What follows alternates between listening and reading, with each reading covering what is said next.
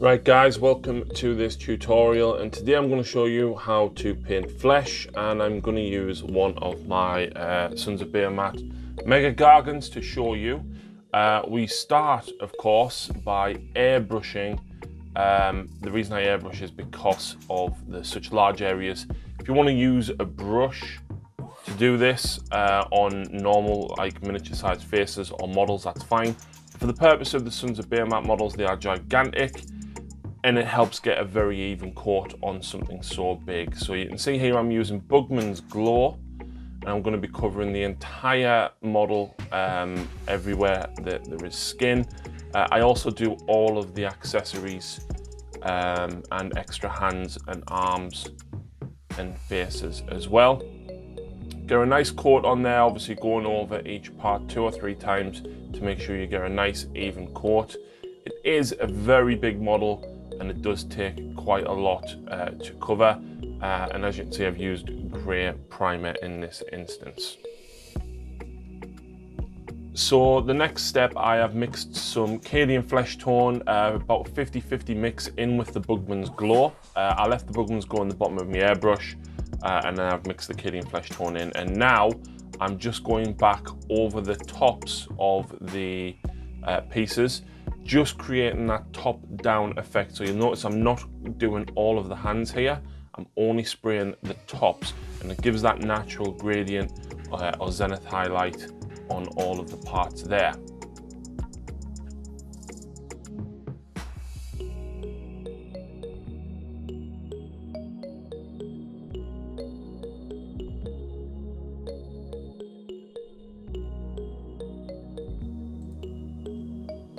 And then we get to the body. And again with this, I'll be covering all of the highest areas, leaving the recesses. So across the stomach here, you can see I'm lightening it up quite a, lit, uh, a lot.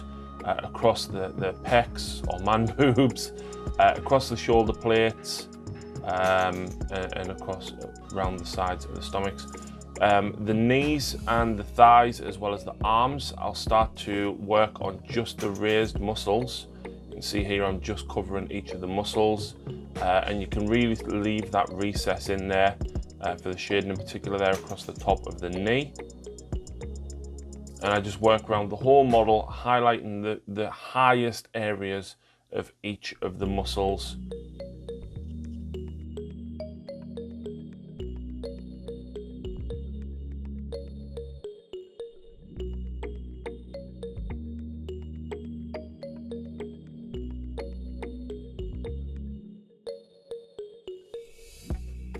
Okay, next up we are going to wash it with Reikland Flesh Shade.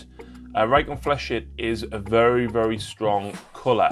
Uh, you can see here I'm mainly painting it in all of the recesses, uh, in particular the highest uh, or lowest shaded areas uh, in all the creases and everything. I'm not covering the entire model, but what I will do is once I've took most of the wash off my brush from going in the recesses like this, uh, I'll then start to just spread it out a little bit across uh, the flat surfaces so that it's not as stark a contrast um, between the two colours.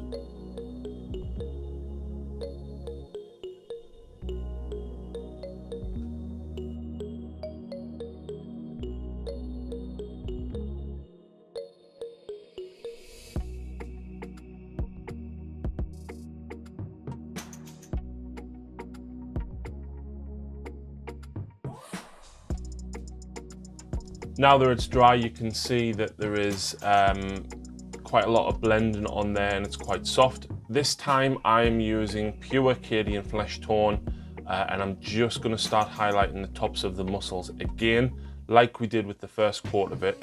But this time, because you've got that little bit extra shading in the recesses from the Reikland Flesh shade, uh, it really, really helps define those muscles a lot more. And where the wash is a little bit softer on the more raised areas, Going very light with the airbrush just helps blend it in and you'll notice this more when I go across the stomach. So I'll do this with all of the extra parts and the rest of the entire model. Obviously it does take quite a while to cover the whole model. Uh, you've got all the feet, the legs, the chest, the back, uh, and of course both arms to do as well.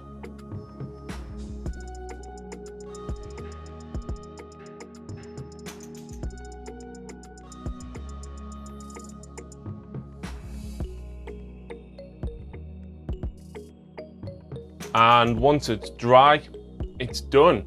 Then you can start painting in all the extra details on the models. Uh, these are my three Gargants. This one here on the left, I did with a, uh, a couple of lighter tones. So I actually started the base as Cadian Flesh tone and worked up to Kislev Flesh. The one in the middle is the one that we've done from the video. Uh, and then this one I did with Vallejo paints. Uh, I used Dwarven Flesh uh, and Leather Brown, uh, as well as Elven Flesh to do this one. But again, I used Reikland Flesh Shade. Uh, I'm not a fan of painting skin, but I am quite happy with those. Uh, all of the extra little pieces, uh, I did it exactly the same way, so they were all washed, uh, and I did the top down with the Cadian Flesh tone. This is for the middle guy, and as you can see there, once it's on, because I've done all of the parts with the same colors and I've done that top down in the same effect, it all ties in, and I'm super, super happy uh, with this skin tone. So I hope you've enjoyed this video. Thank you for watching. We'll see you again very soon.